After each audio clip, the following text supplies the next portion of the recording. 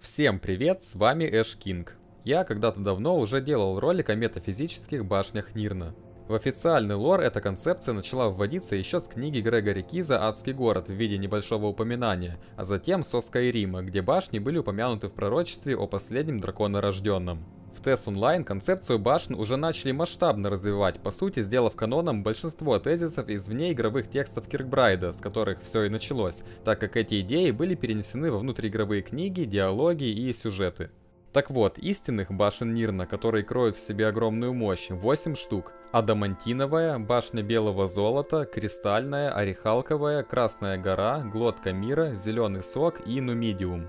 Но также есть некоторые другие строения в Нирне, которые относят к неудавшимся башням, но которые изначально задумывались таковыми, или которые по многим признакам подходят на роль одной из таких, пусть и менее значимых, но башен. В контексте данного ролика назовем их малыми башнями. И после небольшой паузы я начну рассказывать о таких примерах.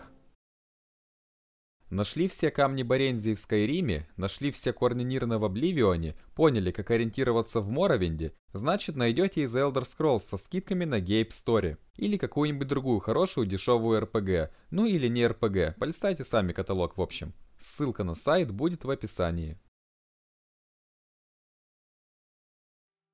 Самый главный претендент на звание Малой Башни это Думкраг, зловещий шпиль, вытесанный в скалах региона Ривенспайр, что в Хайроке. Его построили Айлейды, по-видимому пришедшие сюда после восстания Алессии в Сиродиле. Некто Марачелис, либо бард Первой Эры, либо его тезка, в тексте не объясняется, считал, что Айлейды построили Думкраг в попытке создать метафизическую конструкцию, которая будет фокусировать энергию Аурбиса, как это делает Адамантиновая башня. И в это вполне верится с учетом ее формы, возможностей и наличия собственного камня. Когда Айлейды прибыли в эту дикую местность и основали город Эроки, они принесли с собой реликвию, созданную их лучшими чародеями, которую назвали Латания, что означает «свет жизни». С ее помощью они на какое-то время подчинили себе флору этого региона, выращивая цветы и деревья, а также Латания помогала им исцелять недуги. Но затем Айлейды столкнулись с некими дикарями, что привело к кровавым сражениям в этом регионе. Кровь и смерть осквернили Латанию, и она превратилась в Абагандру, темный осколок. А потом, когда ее коснулся некий вампир, ее искажение еще больше усилилось. И что самое страшное, темный осколок нельзя было просто уничтожить, поскольку тогда весь регион накрыло бы проклятие крови, превратив в вампиров. На этом известная нам история данного клана Айлейдов заканчивается. Во второй эре в башне засел некромант-органианин Ризал Джул, который, используя силу осколка, превращал жителей окрестных земель в низшую ступень вампиров, безумных кровавых монстров. Когда протагонист Тесс Онлайн убивает Резал Джула и его хозяина, барона Монклера, энергия темного осколка высвободилась на полную мощь, и его спутник, граф Верандис, тоже вампир, перенес темный осколок в хладную гавань Молокбала, заключив с ним сделку, дабы Думкрак больше не угрожал Нирну.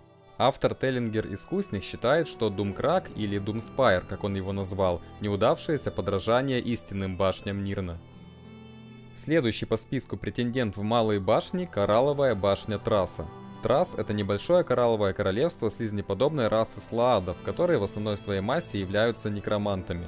В 2260 году первой эры они наслали на Тамриэль трассианскую чуму, выкосившую как минимум половину населения залива Илиак, а по первому путеводителю по империи так вообще половину населения континента. Чтобы положить конец источнику угрозы, был собран самый большой флот в истории, флот всех флагов, которым командовал Бенду Оло, король Анвила. В результате морского похода почти весь трасс был потоплен, однако и часть флота была потоплена и отправлена в хладную гавань. К сожалению, официальных изображений башни нет, только ее основание в Хладной гавани вместе с потерянным флотом, но по описанию в журнале члена команды это сооружение представляло из себя нечто вроде уже описанного Думкрага, возможно даже более величественное. Башня была построена из кроваво-красного коралла, а высота ее была такая, что упиралась в небо. На ее вершине мерцал зловещий синий свет. Этот свет стал пульсировать и выпускать энергию в затянутое тучами небо, и остров вместе с окружающими его кораблями флота погрузился в хладную гавань. В тот день коралловая башня перестала существовать. Вот что говорит Теллингер искусник о ее природе. Слаады были умелыми в извращенном смысле чародеями, и, по общему мнению, Коралловая башня служила точкой сосредоточения и излучателем загадочной силы. Я не специалист по тайнам башен, мой интерес носит скорее практический характер, но это совпадает в какой-то степени с тем, что мифоисторики называют предназначением и деятельностью так называемых башен Нирна. Была ли Коралловая башня настоящей башней, как Кристальная башня здесь, на Саммерсете, или это неудачное подражание, подобное Думспайру? Не думаю, что мы сможем получить ответ, основываясь на скудных крупицах наших знаний. Конец цитаты. Но, по всей видимости, после этого Слаады возвели вторую башню, колонну трасса, также состоящую из кораллов и в тысячу футов высотой. Она упоминается в книге «Врата Обливиона» как один из возможных порталов в Обливион. Мориан Зенос и его ученик наблюдали там за жертвоприношениями слаадов, которые сбрасывали с вершины жертв, некоторые из которых разбивались, а некоторые исчезали, не долетев до земли, будто исчезая в портале. Ну и третье, что теоретически можно отнести к малым башням Нирна, это башня Кипора, главная резиденция псиджиков на их острове Артеюм. В книге «Фрагмент об Артеюме» описывается, что эту башню построили не альтмеры, а другая раса, жившая здесь за столетия до прибытия высоких эльфов. По-видимому, это та самая раса, которая научила первых псиджиков учению Старого Пути и, как описано в оригинале этой же книги, была изначальным народом Тамриэля.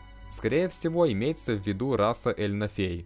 Под башней Кипора располагается пещера грез, в которой, так же как и в Коралловой башне, находится портал в Обливион, а в залах башни псиджики проводят свои магические ритуалы, и возможно именно с ее помощью способны перемещать весь остров за пределы Мундуса. Ну и в конце концов, ее размеры и величественные формы заставляют, по крайней мере, задуматься о том, что это одна из метафизических башен Нирна. Но это лишь фанатское предположение, так как пока что никто в играх не размышлял над ее башенной природой. Ну и на этом у меня сегодня все. С вами был Эш Кинг, всем спасибо за просмотр и до новых встреч.